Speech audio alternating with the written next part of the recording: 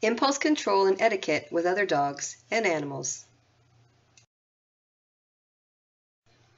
Provided your dog is not showing any resource guarding around other dogs, treating dogs next to each other is a great way to practice impulse control.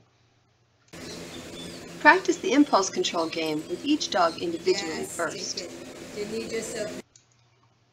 Then you can start to add dogs. Give them distance between each other to begin so you have room to block with your body and it's easier for them to control themselves. You can also use fences or have them on lead.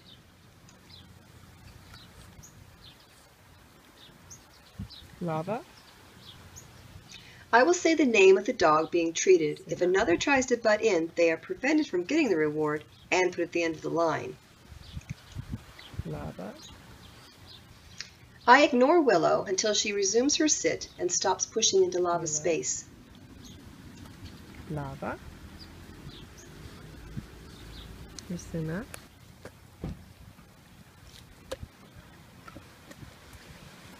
There's lava. Here's lava. Here's lava. Good I am sure Willow. to mark and reward Willow for offering another choice, laying down. A little bit for lava. Good girl. A little bit for lava. Willow is clearly starting to hold herself back. She is beginning to understand the behavior required to get the reward. Good. And don't forget Big Girl. With practice, this can be done with many dogs.